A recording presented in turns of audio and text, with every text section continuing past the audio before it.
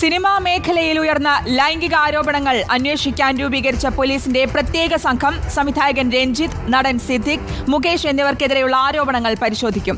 ആരോപണം ഉന്നയിച്ചവരുമായി അന്വേഷണ സംഘം ആശയവിനിമയം നടത്തും. ഇവർ ആരോപണത്തിൽ ഉറച്ചു നിൽക്കുമോ എന്ന് ഉറപ്പുവരുത്താനാണ് നീക്കം. അങ്ങനെയെങ്കിൽ ഇവരുടെ വിശദമായ മൊഴി രേഖപ്പെടുത്തി എഫ്ഐആർ രജിസ്റ്റർ ചെയ്ത് അന്വേഷണം തുടങ്ങും.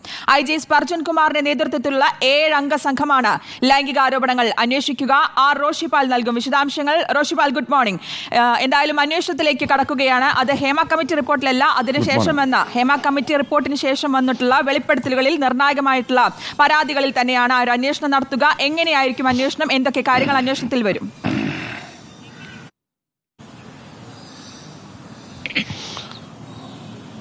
കഴിഞ്ഞ തിങ്കളാഴ്ച ജസ്റ്റിസ് ഹേമ കമ്മിറ്റി റിപ്പോർട്ട് ഭാഗികമായി പുറത്തു വന്നതോടെ സിനിമാ മേഖലയിൽ നിന്നും പല വെളിപ്പെടുത്തലുകളും പ്രധാനപ്പെട്ട വെളി- വെളിപ്പെടുത്തലുകൾ വന്നു. അതിൽ പ്രധാനപ്പെട്ട ഒന്ന് അക്കാദമി ചെയർമാനായിരുന്ന സംവിധായകൻ രഞ്ജിത്തിനെതിരെയുള്ളതാണ്.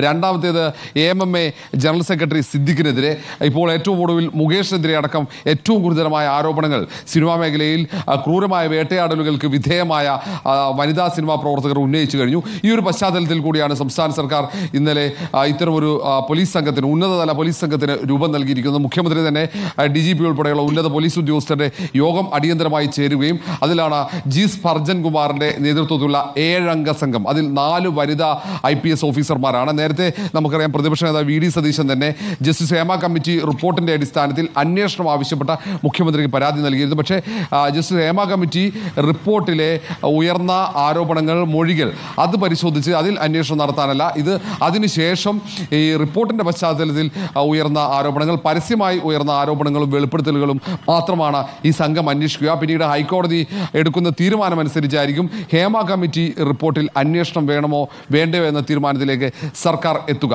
അങ്ങനെയെങ്കിൽ ഇതേ സംഘം തന്നെയായിരിക്കും ഹേമ കമ്മിറ്റി റിപ്പോർട്ടിൽ ഉയർന്ന ആരോപണങ്ങളും അന്വേഷിക്കുക.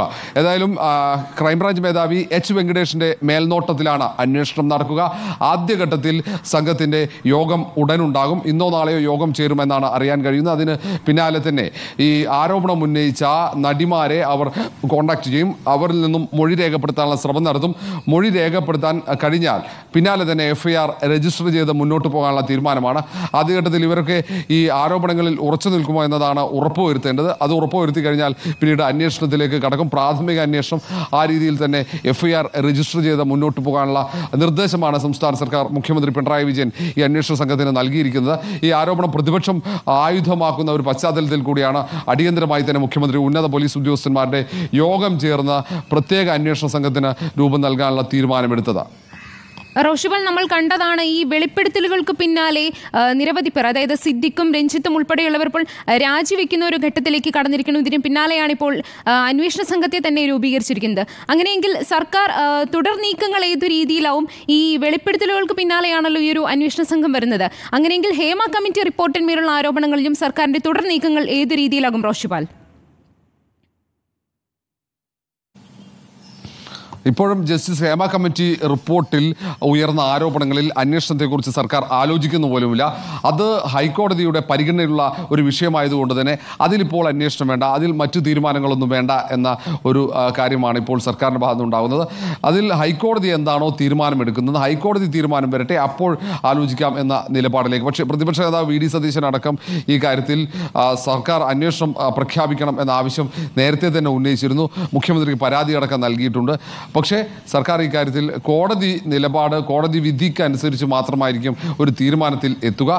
പക്ഷേ കോടതി അന്വേഷണത്തിന് ഉത്തരവിടുകയാണെങ്കിൽ ജി സ്പർജൻ കുമാറിന്റെ നേതൃത്വത്തിലുള്ള ഈ ഏഴംഗ സംഘം തന്നെയായിരിക്കും. ജസ്റ്റിസ് ഹേമ കമ്മിറ്റി റിപ്പോർട്ടിൽ ഉയർന്ന ആരോപണങ്ങളും അന്വേഷിക്കുക. ആർ. റോഷിപാലാണ് വിശദാംശങ്ങൾ നൽകുന്നത്.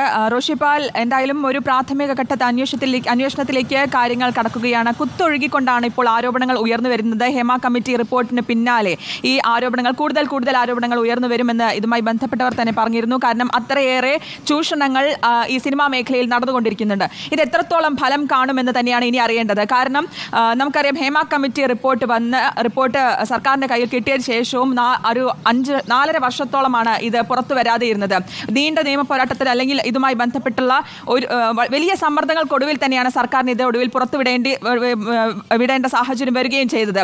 അങ്ങനെ ഒരു ഘട്ടത്തിൽ ഇങ്ങനെ ഒരു അന്വേഷണം പ്രഖ്യാപിച്ചാൽ തന്നെ എത്രത്തോളം അത് ഫലം കാണുമെന്നൊരു ആശങ്ക കൂടിയില്ലേ? സംശയമില്ല സർക്കാരിനെ സംബന്ധിച്ചിടത്തോളം ഈ ജസ്റ്റിസ് ഹേമ കമ്മിറ്റി റിപ്പോർട്ട് ഭാഗികമായി പുറത്തു വന്നത് മുതൽ വലിയ വിമർശനങ്ങളുണ്ട്. പ്രത്യേകിച്ച് ഇത്രയേറെ വലിയ കുറ്റകൃത്യങ്ങൾ സിനിമാ മേഖലയിൽ നടന്നിട്ടും ആ റിപ്പോർട്ട് രണ്ടായിരത്തി പത്തൊൻപത് ഡിസംബർ മുപ്പത്തിയൊന്നിന് സർക്കാരിന് മുമ്പിൽ ലഭിച്ചിട്ടും എന്തുകൊണ്ട് ഈ റിപ്പോർട്ടിന്മേൽ സർക്കാർ അടയിരുന്നു എന്ന ചോദ്യമാണ് ആദ്യം പ്രതിപക്ഷം ഉയർത്തിയത്. ആ ഈ റിപ്പോർട്ട് ഭാഗികമായി പുറത്തു വന്നപ്പോൾ അതിൽ അന്വേഷണം വേണമെന്ന് ആവശ്യപ്പെട്ട പ്രതിപക്ഷം രംഗത്തെത്തി. പ്രതിപക്ഷം അതുമായി ബന്ധപ്പെട്ട് ശക്തമായ പ്രക്ഷോഭ പരിപാടികൾക്ക് രൂപം നൽകാനുള്ള തയ്യാറെടുപ്പിലാണ് ആ ഘട്ടത്തിലാണ് ഈ സിനിമാ മേഖലയിൽ നിന്നും പുതിയ ആരോപണങ്ങൾ. ഈ ഹേമ കമ്മിറ്റി റിപ്പോർട്ടിൽ ഉള്ളതാണെന്ന് വ്യക്തമല്ല എങ്കിൽ പോലും ആരോപണങ്ങൾ പുറത്തേക്ക് വരുന്നു. ഈ ആരോപണങ്ങൾ പുറത്തേക്ക് വന്നതോടെ പിന്നീട് സർക്കാരിനെ സംബന്ധിച്ചിടത്തോളം അന്വേഷണ സംഘത്തിന് രൂപം നൽകാതെ നിർവാഹമില്ലാത്ത സാഹചര്യമായി. അക്കാദമി ചെയർമാൻ രഞ്ജിത്തിനെതിരെയാണ് ആദ്യ ആരോപണം. പിന്നാലെ തന്നെ Siddique M M A general secretary സിദ്ദിഖിനെതിരെ ആരോപണം ഉയർന്നു. ഒടുവിൽ എം എൽ എ കൂടിയായ നടൻ മുകേഷിനെതിരെയും ആരോപണം ഉയർന്നിരിക്കുന്നു എന്നാണ് ഏറ്റവും പ്രധാനപ്പെട്ട കാര്യം. ഇതിൽ രണ്ടുപേർ ഇടത് സഹയാത്രികരാണ്. അതുകൊണ്ട് തന്നെ ഇവർക്കെതിരെ ഉയർന്ന ആരോപണങ്ങളിൽ അന്വേഷണം നടത്തിയില്ലെങ്കിൽ അത് സർക്കാരിനെ കൂടുതൽ പ്രതിക്കൂട്ടിലാക്കും എന്ന വ്യക്തമായ ബോധ്യമുണ്ട്. അതുകൊണ്ട് തന്നെയാണ് മുഖ്യമന്ത്രി ഡി ജി പി ഉൾപ്പെടെയുള്ള ഉന്നത ഉദ്യോഗസ്ഥരുടെ യോഗം വിളിച്ച് അന്വേഷണ സംഘത്തിന് രൂപം നൽകിയത്. പക്ഷേ ഈ മൊഴികളിൽ ഈ സിനിമാ നടിമാർ അവർ ഉറച്ചു നിന്നെങ്കിൽ മാത്രമേ അന്വേഷണവുമായി മുന്നോട്ട് പോകാൻ കഴിയുള്ളൂ. ഒന്ന് നമുക്കറിയാം കൃത്യമായി ഹൈക്കോടതി തന്നെ പറഞ്ഞിരുന്നു ഈ സിനിമാ മേഖലയിലെ ഇരകൾ അവർ പാർശ്വവൽക്കരിക്കപ്പെട്ടവരാണ്.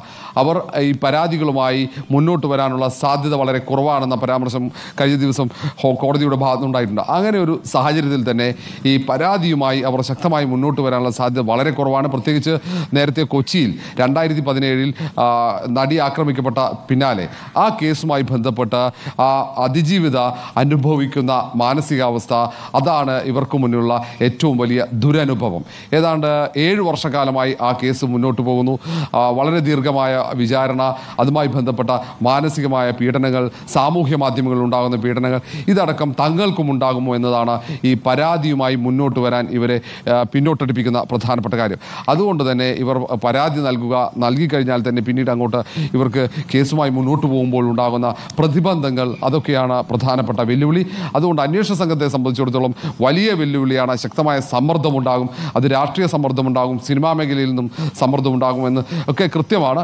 അതുകൊണ്ട് അന്വേഷണ സംഘത്തിന്റെ നിലപാട് വളരെ പ്രധാനപ്പെട്ടാണ് ഏതെങ്കിലും തരത്തിൽ അന്വേഷണത്തിൽ വീഴ്ച സംഭവിച്ചാൽ അത് രാഷ്ട്രീയമായി ഇടത് സർക്കാരിന് വലിയ തിരിച്ചടിയാവുകയും ചെയ്യും.